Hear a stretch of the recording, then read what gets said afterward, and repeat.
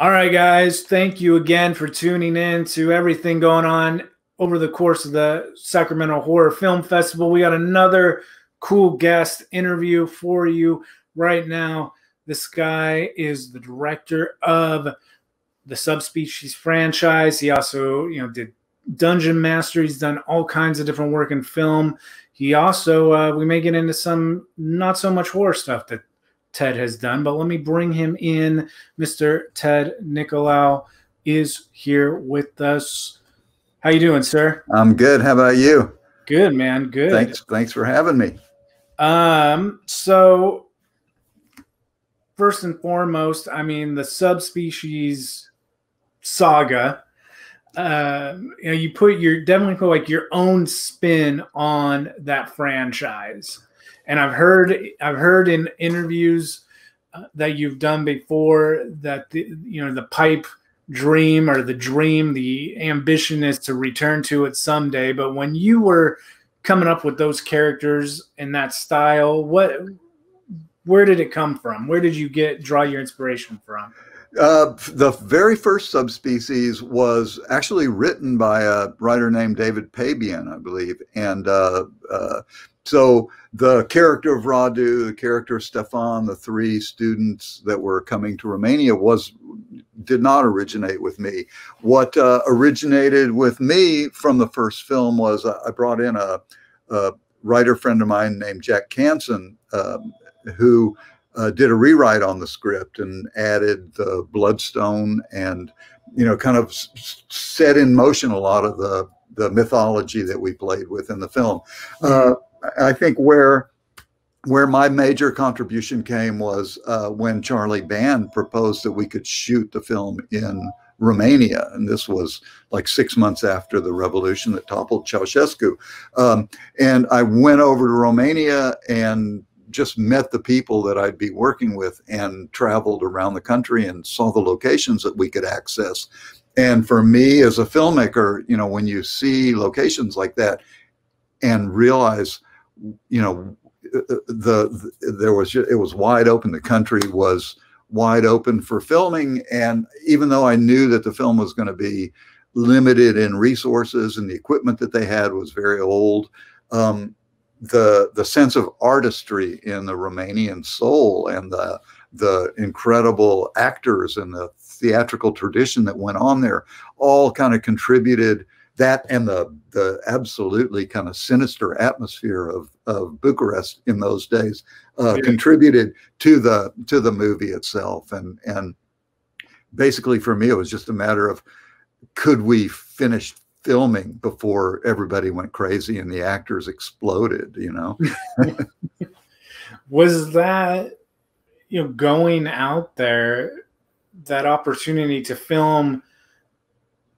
a monster movie in a country like Romania, like that, you know, when you look up subspecies, that's one of the first things that makes that that franchise so unique is the fact that you did go out there. You know, it's not a uh, a Dracula movie in a soundstage in Los Angeles, so to speak. Like yeah. you, you guys are actually out there in it. Um, what is that like compared to doing something more i guess american made like the creepiness factor definitely from a viewing standpoint is uh, substantially higher because yeah. you, you can tell it's not sets like you're filming actual you know uh, landscapes and stuff but what was that like being behind the camera and you're you're making a monster movie where everybody thinks that they actually come from? uh, you know, the the being there uh, it was such an eerie experience. The first few weeks I was there by myself with a Romanian producer, and they put me up in Ceausescu's summer palace, which is on Lake Snagov, and across the lake is apparently the place where Vlad Dracul was uh, was buried. Hmm. And I and I started feeling like Charlie Band had sold me to a bunch of vampires and out of the forest because we were in the middle of this forest and and there was nothing to do, no food to eat, no restaurants to go to, nothing but just to sit there and stew in the horror of it all. Um, so for a while, I really did start fantasizing that I was going to be eaten by vampires. Uh, and one night there was this loud banging on the door of the hotel, and it was just me and a couple of soldiers. And and I, I am so ashamed. And I was terrified, terrified to be there. And uh, it turned out there was a car wreck up the road in the forest. Uh, but scared the hell out of me. But in, in, a way, it also the the ability to shoot in Romania kind of spoiled me for the rest of my movie making because the now I sort of expect the landscapes and the architecture to contribute mightily to the movie, like like they did in Subspecies, and the the feeling that we could go to folklorists and dance professors and kind of learn about the the actual rituals against the undead. They didn't really believe in vampires; uh, they were more like werewolf believers. But mm -hmm. uh, but you know the the sense that they're, they're the undead malign influence of the undead was there in the villages. So so all around us was really a, sense of that history, and everywhere you would poke your head, you know, into a dark corner of a castle or a tunnel, uh, just was mysterious and a little bit terrifying. What was it that you wanted to do with your vampires? Them where you came up with your design for them because they are like your you know everybody likes to put a spin on you know frankenstein or whatever the monster may be and your your vamps are unique in their own right too. What where did you kind of say in the in the pre-production process like this is what i'm kind of going for? You know the uh for me uh, growing up, I was like a Frankenstein fan, and uh, Dr Dracula movies never really kind of did it for me. It didn't terrify me very much.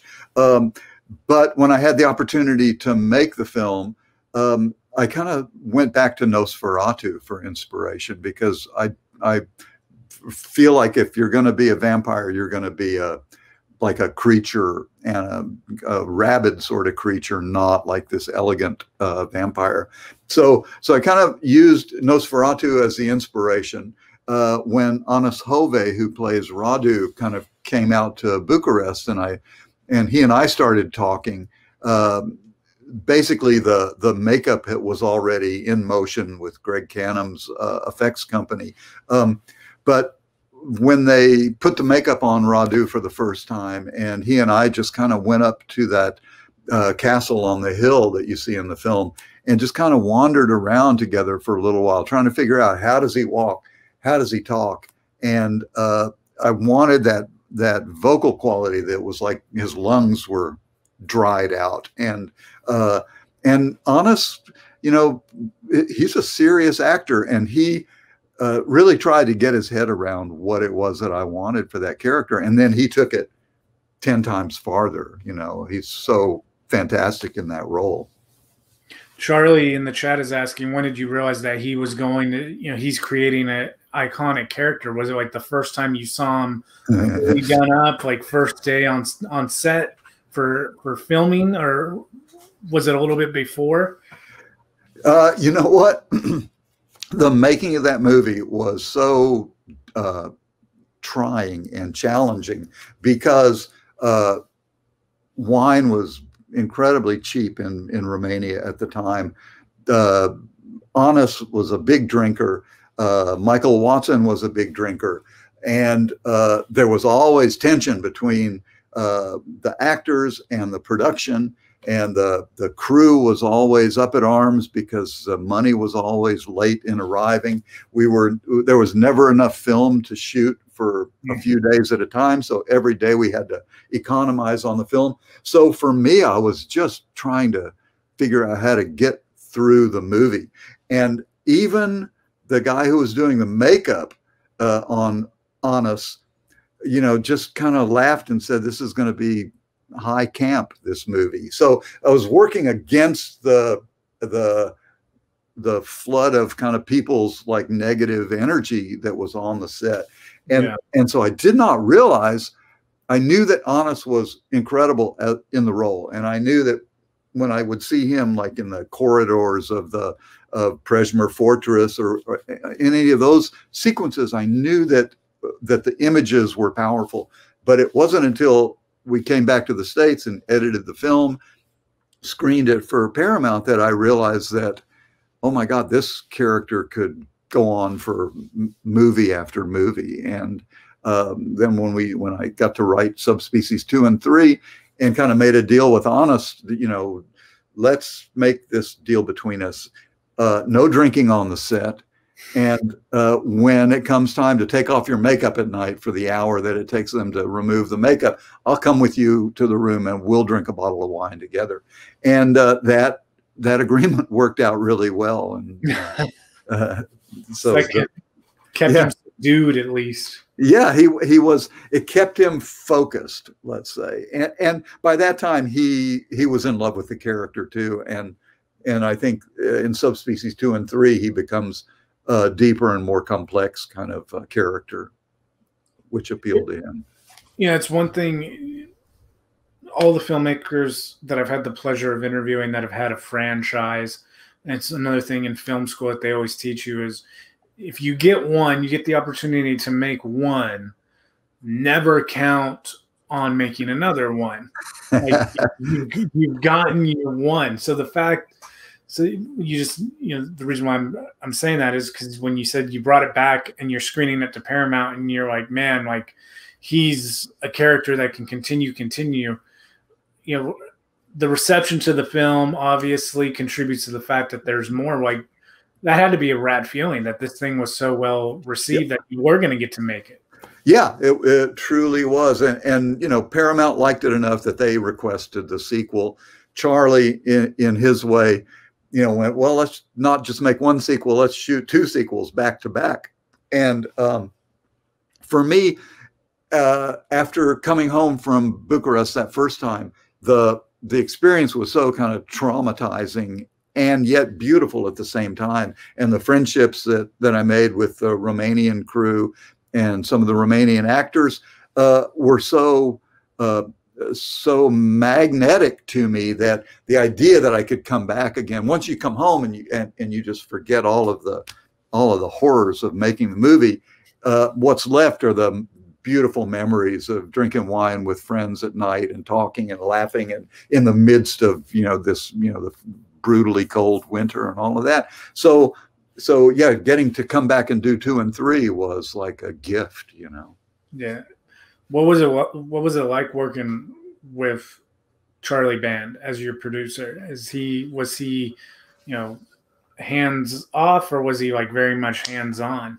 Charlie is a unique sort of a producer, and I I know him uh, well because I was I edited a lot of his films before I started directing, and um, so he he trusted my you know what I would bring to the to the movie, and he is a he's kind of uh, involved with the script a little bit. I mean the the scripts uh, of those days uh, of Full Moon and Empire both you would write them fast and maybe you'd do a second draft and then you'd be off in pre-production, and before you know it, you finish shooting it.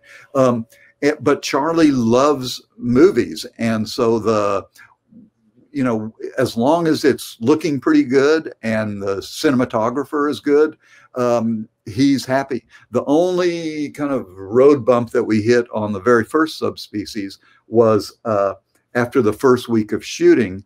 Um, he saw the dailies. He was in Italy, saw the dailies, and uh, Vlad Paunescu, who was the Romanian director of photography, really talented, but had a style of shooting that was Romanian um, and and a style of lighting that was Romanian. And and we were shooting on a on ORWO film stock, this kind of Russian film stock. Um, and Charlie hated the look of the film. So so he called me and said, "We got to fire Vlad." And uh, we'll send Adolfo Bartoli, who was his kind of favored Italian cinematographer at the time. And by that time, I knew that Vlad, Vlad and I were close by that time because he he and his uh, girlfriend, now wife uh, Oana, who was the costume designer, brilliant costume designer of the films, um, had sort of helped me get through the first weeks of pre-production and showed me around Bucharest and took me to theater and took me to the to the bars where the actors went after the shows. And and introduced me to a an incredible lifestyle there even though it was poor and desperate and there was nothing to buy. Uh, and i knew that vlad controlled the crew and the thought that he that charlie would bring in adolfo and and change everything uh, i said no that can't happen you know? So i had to go drive down to bucharest to the to the Buftea film studios and meet with all the muckety mucks of the Romanian side of the production because it was a co-production where the Romanians were paying for the the Romanian side of it. So uh, I had to defend Vlad to them and then to Charlie. And luckily, I won that argument. And Charlie sent Adolfo to Bucharest. And Adolfo came and sat with us on the set and kind of told Vlad a few tricks about backlight and and uh, how to light the film. And Vlad learned very quickly. And Adolfo came, took me aside and said, "Please, Ted, I don't want, I do not want to come to Bucharest. So uh, work it out." So, so uh, we did, and Vlad shot number one. He ended up owning the studio that Charlie kind of set up when we went back to do numbers two and three, and he mm-hmm. shot two and three. And Adolfo ended up living in Bucharest for a number of years, like teaching the crews there how to work in a Western style. Uh, did that answer your question? I, I don't know, but it was something. no, I, I would say so. Yeah. The, uh, okay. the, um, oh, Charlie Band. That was it. That was the only time Charlie really interfered. And Charlie's father, Albert Band, was mm-hmm. like his uh, counselor uh, in everything creative. And Albert uh, would come into the cutting room and and you know have people rearrange scenes or ed, uh, take out scenes. And uh, because I had been an editor and had worked with both of them before, I kind of knew their style and knew and learned a lot. Learned a lot from Albert. So uh, because I did not fight with Albert, I just kind of worked with him. You know, I I got I, I, was very lucky that I had a pretty easy run of things, and Charlie was always uh, supportive. I mean, as long as you can make it for no money, and and shoot it in a ridiculously quick uh, schedule, uh, Charlie was pleased, and it looked like a movie when it was over with. You know. Yeah, another good question coming in. That was going to be my next question too. Is being a a child of the 80s one of the films when you're old enough to uh, sneak in and watch a, a horror movie. By the by the laugh maybe you know which one I, am I'm, I'm about to talk about. Uh, Texas Chainsaw Massacre. Yeah. you, you worked on the sound department under Tobe Hooper. Yeah. That film man and one of the most iconic parts was in your department, in the sound department of that film, with no, uh, you know, with no sound that is associated with that movie. I don't know if it's as scary as it is, but what, what was it like working on that film and then, you know, working under under Hooper? That film uh, was a total trial by fire for those of us who were uh, at University of Texas Film School, and basically we were still film students, and we were kind of smart Alex and thought we knew everything, like film students can do. Uh, yeah, and um, and uh, Tobe was a little bit older than us, a little bit more stoned than we were, and uh, basically every day he and Kim Henkel would kind of just sit and think for a couple of hours about what we were going to shoot that day. And we were like film students who who you know you're supposed to be prepared you're supposed to start shooting immediately don't waste any time uh, so we didn't really understand what how great the film was going to turn out at the time you know we knew that it was terrifying and some of the tableaus that were set up in front of the camera were like you know incredibly powerful. And um, daniel pearl did a great job as a director of photography on that film. But it wasn't until it was edited and it was in the cutting room for like a year uh, getting kind of honed down. It wasn't until we saw the film that we realized what a what an amazing job Tobe had done. That film, you know, one of the things that is so iconic on top of this the sound is the fact that when you're out there on the ranch with the family, you feel like you're getting dirty. Like yeah, yeah. The, is that you know, I gotta imagine it's a, a test to the fact that it's shot on film and it's shot in that environment. But were you guys, when you were out there, do you know if they were doing anything on top of it other than just adjusting the camera? Were they like blowing the you know the dust up or what they were doing? No, that was a brutally hot Texas summer uh, and uh, 16 millimeter film, uh, and basically we were out at this farmhouse and just burning up every day and that is the the sweat and the grit of Texas dust blowing in your face, you know. Man, that is uh you know a film that uh I think leaves a lasting impact. Was there a a, a uh, certain mix that you did in the sound department for it that was kind of your fave as you were as you were coming up with stuff? You know, my my contribution was basically as the location sound recordist. So. My challenge was to capture all the dialogue with my boom man or gotcha. to to lavalier people like when they're in the car. Uh, I'm most proud that I don't think any lines had to be ADR. Yeah, so it's all live sound. Um, and then we spent a day or two like recording uh, watermelons getting cracked open and, and chicken bones and celery and stuff like that that were that could be used in post production. And then I think uh, Tobe got really lucky when he came out uh, to Los Angeles to mix the film, and I believe he sort of had access to the Exorcist's uh, sound effects library too. Oh. So so I think it it enhanced what was already there. But but I was not involved with the with the post. Well, the the boom operation and the the thing I will tell you as a film student, man, that is a testament to you because I hate to do audio mixes and all that. Uh-huh. That's one of the worst feelings is when you have a full day of shooting and for whatever reason the the dialogue isn't syncing up with the lips, man. Yeah, well, it's that. Uh, the syncing is one thing, but the but if it, you can't hear it, I mean, it's almost like I think a movie with bad sound looks crappier than a movie with a bad image. You know. Uh, yeah. And so sound is really important, and and to coordinate between the sound recordist and the boom operator, who's actually you know muscling the the microphone in the air and trying to pan it around and capture everybody it takes a lot of uh, skill. You know.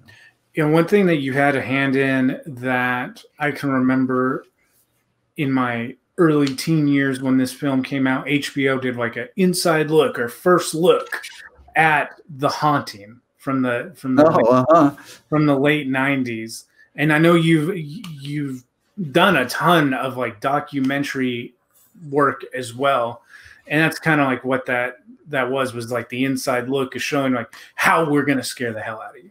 Yeah, yeah, that Did was fun. That uh, getting to do the behind the scenes was that a uh, kind of like a thing? Have you always liked doing like the documentary type stuff? Did you?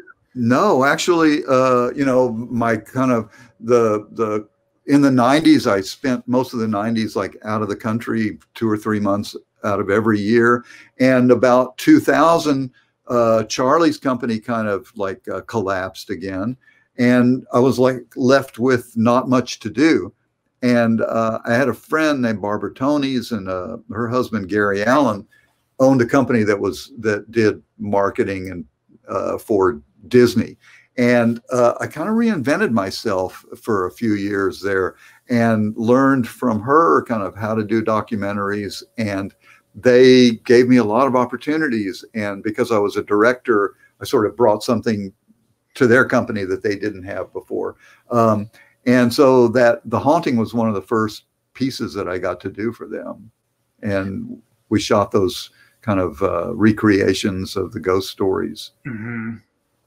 Before we get to the not so scary stuff, there's one film that to say that it's cult classic, I would say is the understatement of the century because there is, uh, you know, there's no monster like the monster from Terrorvision. Yeah, and true. there's no, there's no uh, cast. We actually at Sinister Creature Con we got to talk with uh, Gerrit Graham a few years ago. Oh man! And uh, he was just as hilarious in person as he is in the film. But that movie, man, everything from the swingers jokes to the fact that they're, you know, they're they're got this giant monster that he's almost like just a big ugly pet dog in some retrospects like uh-huh. but what what was that like man? Like doing putting that together and then uh, behind the scenes just with that cast i gotta imagine was a blast. That movie to me was like such an opportunity. Uh, finally after editing a million movies for charlie i got the opportunity to do terrorvision and uh, when he showed me basically back in those days he would have posters made and uh, that would be the first step in the development process. And he showed me this poster monster coming out of a TV set.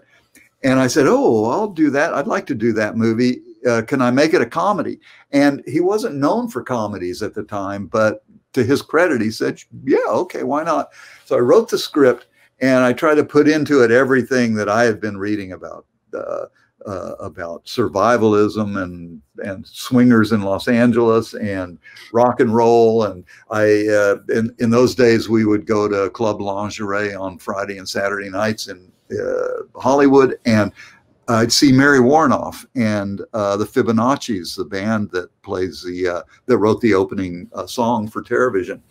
So kind of the the world I was living in kind of fed that movie quite a bit, and John Buechler, who whose uh, shop created the monster, when I when it was time to do the monster, I we got into a lot of arguments about the creature because I wanted him to be asymmetrical and stupid looking and lovable looking and have crazy appendages, and it was unlike anything that Buechler had ever done. But to his credit, he like uh, he took on the challenge, and his sculptors were incredible, and uh, they made this thing that was so fucking unbelievably hard to move around between Los Angeles and Italy, and and incredibly hard to slather down with with um, you know cellulose. Yeah, every time they just left a trail of, of lubricant everywhere you went. Um, so and uh, kind of the when I got to Italy and saw the sets. Basically, I had had uh, Giovanni Natalucci, the the Italian uh, production designer, come to Los Angeles, and we went through a lot of books of of houses, locations in the valley, and talked about swinging and talked about uh, you know all the stuff. And he went back to Italy and designed this set. And uh, when I walked on the set for the first time and saw the erotic art on the walls and the conversation pit in the living room and the the pleasure palace in the, the gigantic jacuzzi, it was like, holy shit, this is going to make this movie beyond what I even imagined. Uh, and then uh, add on top of that, casting Gerrit Graham, which was like the most lucky thing that, that we could have done, and Mary Woronov, who I wanted to play. I wanted her to play the Elvira like character, uh, Medusa. Um, and she came in to audition for that. And and she said, you know, most people would hire me for that part. But you know, the part that I'd really like to play is the mother. And when Mary Woronov says that to you, you just go, wow, uh, yeah, okay, yeah, sure. And Mary is incredible because she is like the least motherly person that you could ever meet, you know. But uh, she brought something to that movie that's just incredible. And then Diane Franklin and, uh, you know, Chad Allen it just went on and on and on. The the combination of that cast shooting in Italy, we had a hotel that was about 20 minutes from the old Dino De Laurentiis studios, which is where we were shooting on the beach in a little town called Torvaianica, and a patio overlooking the ocean. And every night was just like, you know, mad wine drinking dinner parties until you know, well after midnight. So that I, I thought, wow, this is what the rest of my life is going to be like. Little did I know that a few years later I'd be freezing my ass off in Romania. the you know the monster. Did you get to? Uh, you said the appendages on him.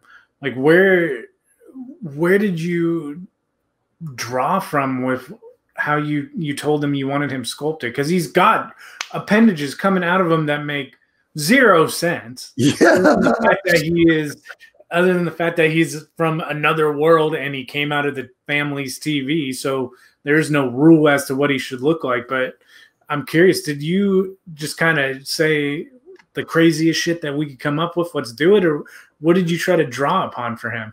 I think I drew upon little bits and pieces of creatures that I liked. I mean, the the overall kind of big booger turd kind of body shape uh, yeah. just kind of came about somehow through his sculptors. I definitely wanted a pincer uh, and definitely wanted a, a, tentacle with a little eyeball on it and one big eye and one little eye. It was really like uh, between my just kind of talking about what it, what it should be. And then his artists and sculptors kind of drawing designs and you know yeah this looks good. Let's let's do go in this direction. And uh and john finally just kind of giving in because he was also directing uh uh troll at the time. So his his brain was in on his old own movie. So a lot of his own character his own artists kind of took over and helped create that monster and then took like five people to operate him you know yeah, that I mean he's he's takes up 70% of every shot that he's in. So I got to imagine that the the puppeteering of that thing, I mean we're nowadays the bonus features on something like, you know, Star Wars or or anything like that, they talk about, you know, how many puppeteers it takes to puppeteer something half of his size.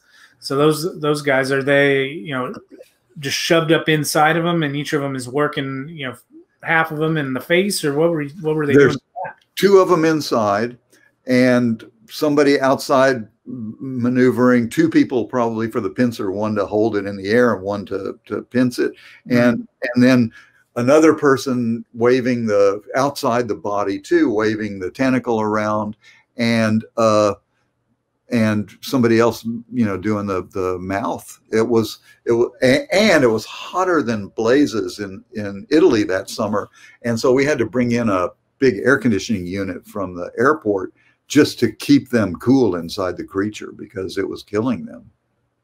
Did uh, Gerrit Graham? You, know, you talked about all those parties. You, any crazy uh, Gerrit Graham experiences? No, Gerrit had just gone sober uh, like a month or so before coming to Italy. so he was grumpy. He, he, he, was grumpy as shit with all the noise that was going on uh, from the patio because he was trying to be uh, good and his wife was there with him. So uh, he would he was mad about it all. But Mary Woronov was was there, you know, like you know, holding court. And uh, Gerrit you know, is such a pro, though, you know, even as mad as he might get at the noise that was coming out of the patio mm-hmm. uh, on the set, man, he is a monster. He is so funny and so fast and good. Yeah, the getting into now the not so scary stuff because when I saw that you directed this documentary, I got so stoked because one of the last things that we studied – in film school um, was we had to you know we had to feature touch on it throughout school, but we had to feature one of the artists, and one of the ones that I picked to feature was Dali, and his surrealism look, how he did everything, everything from the melting clocks to the otherworldly. It's almost like a Alice in Underland type style that that guy had to his pieces and everything. I'm curious to hear what was it that you that first attracted you to him? Uh, I loved Salvador Dali from the time I was in college. You know, when I discovered him in the school library, uh, his paintings just take you to another world and and are so inexplicable and and yet so beautifully rendered and such finely detailed. So I loved. I I was a big fan of Dali uh, from when I was 20 years old or so. Uh, later on, when I was doing uh, like bonus features for the Disney company, um, they, uh, you know, one of the things, little known uh, aspects of Dali's life is his period in Hollywood. Uh, he was a big fan of Walt Disney, and Disney's artists were big fans of Dali. And Disney, at one point, uh, reached out to Dali and said, you know what, maybe you ought to come here and let's work on something together. And so uh, they did. And uh, Dali came and worked for a number of months at the studio and uh, created story sketches and, and background art for uh, what was going to be the very first surrealist uh, animated short. And, uh, but in the end, there's only room for one genius on the Disney lot, and that was Walt Disney. And so Disney, right. you know, pulled the plug on the project. Years and years later, the studio discovered they had this art in the vault, and they could not, they didn't own it unless the movie was made. So Roy Disney Jr., who was Walt's uh, nephew, uh, pulled out all the art and uh, made the movie. And hmm. so they wanted to make a documentary about this uh, collaboration between Walt Disney and Salvador Dali. And several producers, you know, shot interviews and tried to put the film together, and they never quite satisfied the Disney DVD people. Um, and so they brought it to me and said, you know, here it is. We've got all these interviews. We've got the art and the cooperation of the Dali Foundation. Uh, can you make sense of the story? And so took months and months of going through the interviews and figuring out and then going and shooting a couple of more interviews and going to Spain. So uh, and, and, shooting at Dali's house and and at the at his museum. So basically, ended up putting that film together and and you know kind of telling the story of this friendship. And later on, a few years after that, uh, uh, I, I uh, did the exhibition at the Walt Disney Family Museum uh, that was Disney and Dali, Architects of the Imagination, because really they're two of the most iconic and influential artists of the 20th century, and two guys that were most kind of imbued with the with the the sense of technology and the sense of imagination and and and uh, psychiatry, you know, uh, of the 20th century. So that, I'm sorry to cut no, you. No, go ahead. That's okay. No, I was just going to say that exhibit. I remember going and being in San Francisco and seeing the the banners in the Presidio district advertising for it, and I was like Salvador Dali and Disney. I'm like that. I, I had no idea up until going to your exhibit that they had, uh-huh. you know, they they had worked together, and uh, yeah that the way that that museum does those special exhibits is really cool too because it's like its own little mini museum outside of the main walt disney uh, museum. Right yeah yeah. They it, it, because it was it was founded by uh, diane disney miller who was walt's daughter and um, wants to kind of keep alive the the artistry of Walt Disney and, and kind of explain to people the life of Walt Disney. The yeah, their their special exhibitions are fantastic. You know, I'm hoping that, I'm hoping how long, another one. How long did that take to to curate? That was probably two years, two years from start to finish because. Uh, I mean, museums work a lot slower than movies, you know. So you yeah. just have to uh, you know, it, it, takes a lot of cooperation and a lot of consideration on how to get the art from place to place. And the the Walt Disney Family Museum kind of made a, a, a collaboration with the Dali Museum in St. Petersburg, Florida, who had their own ideas about what they wanted to do. And so it, it took a long time, and there was so much art to go through and and to try to tell the story in a way that I wanted it to be like a movie that you would kind of walk mm-hmm. through, and uh, and kind of parallel the two artists' lives uh, from their birth until their deaths. You know, and and I think it was, and then we got uh, we were lucky enough to get um, uh, uh, Sigourney Weaver to do the narration. Right. Yeah. Was No, it was it was really cool, man. The, Oh, the whole Thank you. You know, you your unique style, whether it be vampires or monsters coming out of the television, or even touching on a iconic franchise, um, you know, being part of the crew of Texas Chainsaw. Is there a monster movie or some kind of a movie that if you, you know, someone said, you know, Ted, here's a check, make whatever you want to make. What would you want to put a spin on tomorrow? Phew, that's a big question. You know what? I started out doing comedies, which is the, the funniest part of my life. You know that that in film school I did kind of fantastical comedies. So uh, you know that's a big question because I've got screenplays that I've written that have not gotten made yet, and and ghost stories. I've got a really good supernatural thriller. Um, if I could do anything, anything, Oh man, that's I don't know. I really don't know. It sort of depends on the moment, you know. One day I'm into one thing and the next something else. What uh, what is it that gives you the the willies, man? What is it that scares you? Uh what scares me most is people uh and what people do to people. And and in a way I like monster movies because it takes you one step away from man's cruelty to man, you know. Right. Yeah, I, I don't mind monsters' cruelty to man one little bit, but I really cringe at torture porn or you know eh, movies, even even slasher films. Kind of, uh, I I'm not that interested in, but I I would love to see a great monster movie or a great uh, science fiction film. Well, I mean, you could always do, uh, you know, somehow, some way, somewhere, TerrorVision monster comes through a TV on a spaceship.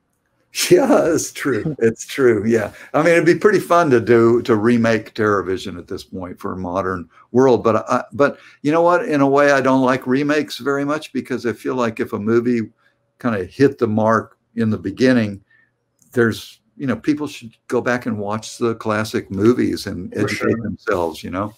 Now, TerrorVision, TerrorVision stands alone, man. Uh, Yeah. Like, like you said, the house, the set design, like everything, like that's kind of like a lightning in the bottle scenario. you know what i wanted uh, you know uh, my inspiration for for that film partially was uh, when i was a kid uh, two movies kind of like haunted me because i you catch a movie you don't see the whole thing maybe you know uh, but it but its images are so arresting and those two movies for me was were invaders from mars the original Oh. one Okay. and uh, and the Five Thousand Fingers of Doctor T, which I only saw little bits and pieces of, and they were both expressionistic American productions. Mm. Uh, and the expressionism, because I was just a kid from Texas, uh, I didn't understand expressionism. I knew from famous monsters of filmland, uh, Cabinet of Dr. Caligari, and those images were so uh, attractive to me. So, uh, so I, I wanted to do a movie with TerrorVision that that people might kids might see on television and and go, what the fuck was that? You know, and and kind of haunt them in the same way. I kind of screwed up because if making a movie for kids, you don't put erotic art on the walls, you know. Uh, so so uh, it was a little bit scrambled, but I think it had the same effect. I think it was one of those films that if you didn't see the whole thing, it was something that you remembered and and wanted to figure out what it was, you know. And I think that partially contributed to its longevity, you know, because when it first came out, uh, critics hated that film and uh, kind of failed in the theaters, and and it was a big, big disappointment to me because I was so kind of like thought it was going to be going to make get me somewhere, you know, and it just got me depressed for a year or two, you know. Uh, but when I heard from people, you know, years and years later, kids were still turning their friends onto it, and it was, you know, part of one of the rites of passage of seeing horror movies. Uh, and then seeing how it's continued even to now to kind of keep gaining more of an audience, you know, it's like been very happy for me and satisfying. Well, man, I will tell you, I have a lot of cool stuff in my collection over the years of my life. But one thing that I would say I would freak out because of the love of TerrorVision, if there's ever some kind of a uh, TerrorVision Terror Monster uh, plug, oh, man, go pop or anything. So there you go, man. That that film has has stood the test of time. Has, cool. so, oh. has so has subspecies. I mean, can't go wrong with Salvador Dali and uh, you know that that exhibit and that documentary uh, were the Sacramento Horror Film Festival. But man, if you are a fan of Disney on your soft side, check out Ted's work there. And uh, where can everybody kind of keep keep up with you? You know, reach out if are you on social media or anything? See what? Yeah, I'm, I'm, on Instagram, Ted dot Nicolaou or Ted Nicolaou, and um, on Facebook too. Yeah, check me out. Thank you very much, man, for taking the time to uh, do this interview for us. Hey, it was a real pleasure. It was a real pleasure. I hope everybody uh, has a good time at the virtual uh, festival.